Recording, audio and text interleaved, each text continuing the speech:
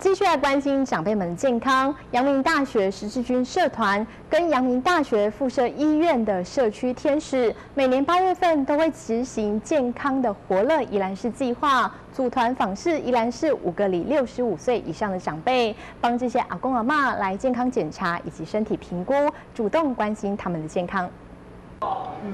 阳明十字军社团用行动剧表达出老人家的就医陋习。我阿我阿妈哦，就是伤铁气啊，啊，进前叫伊去病院检查，啊，拢无爱去，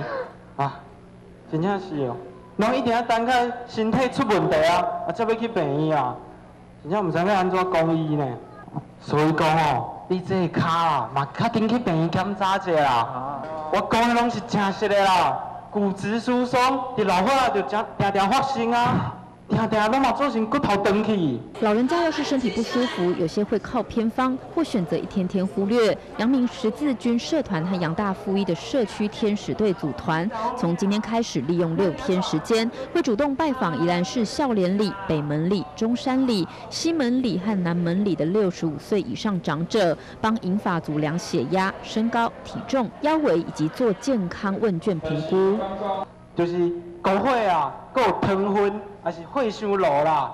就是你平常时若出现头晕，还是骹手会麻，甚至是迄胸坎会袂爽快，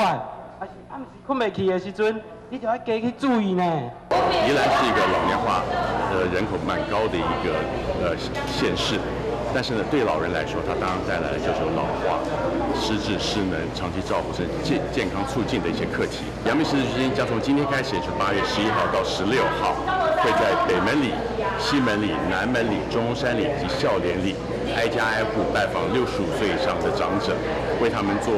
身高、体重、心心电图的测量，以及问卷访视，更重要的带来关怀以及热情。十字军社团多来自就读医学相关科系的学生，这项健康乐活宜兰市计划，也是累积未来行医服务的经验。宜兰新闻记者洪竹汉报道。